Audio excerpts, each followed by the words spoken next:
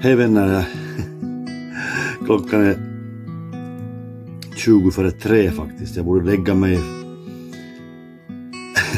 Men jag fick en sån tanke. Bara kort tänker jag berätta en sak.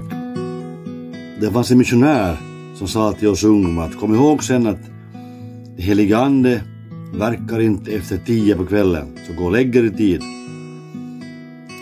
jag vet inte om han var seriös eller han, han bara försökte få ett, ett, ett, ett sätt att få oss att lägga oss. Men han sa så att den helige ande slutar verka klockan tio. vet du vad? Det finns många exempel i Bibeln där den helige ande verkar efter tio, i midnatt, i nattens timmar. Ett exempel. Vi skulle inte få hö ha fått höra om Johannes 3.16 om inte den skriftlärda farisén, sökaren Nikodemus ska ha kommit till Jesus på natten för att fråga honom. Mästare, berätta för oss. Och Jesus berättar om att bli född på nytt.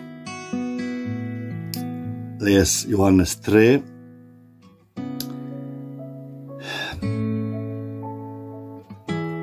Du måste bli född på nytt för att kunna se Guds rike, komma in i Guds rike.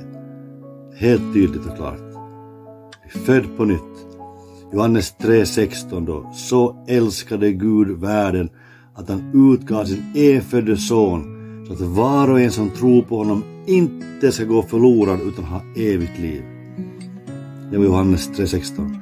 Så tack vare Nikodemus som smög ut i natten och, Fråga Jesus. Det, det, det är sent, det, det, klockan är mycket jag vet men jag har en fråga, jag måste få veta. Svara Jesus, hjälp mig. Svara mig. Jag längtar efter det, jag vill veta svar. Jag...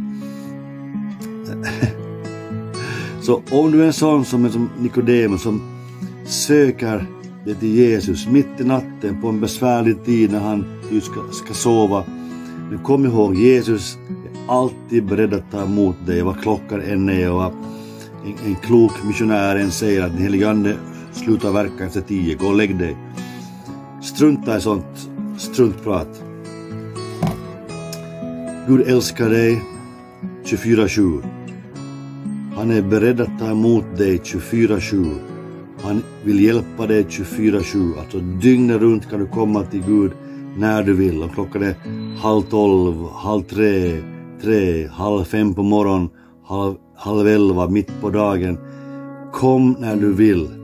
Muslimerna har just avslutat sin ramadan och de, de måste ju be då fem gånger per dag, så, så det hela tiden. Fem gånger per dag, det är ju ingenting. Jag ber hela tiden, 24-7, jag, jag är i kontakt med Gud hela tiden. Inte bara fem gånger. Ja, det, det var ett sidospår, men att du kommer till Gud när du vill. Gud är alltid beredd att ta emot dig. Jesus säger så här, den som kommer till mig ska jag sannerligen inte kasta ut. Så kom till honom som Nikodemus, fråga dina frågor, kom med besvärliga frågor, ingen fråga är dum, det är okej okay att fråga frågor och Jesus vill svara dig.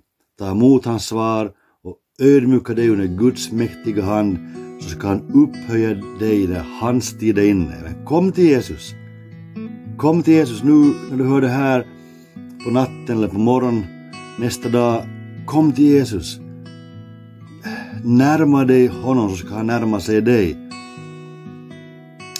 Så bli en Nikodemus som du kanske är rädd för människor, du kanske du lider av människofruktan, vad ska de och de tänka, vad, vad ska mina arbetskamrater, skolkompisar tänka? Strunta i vad de tänker.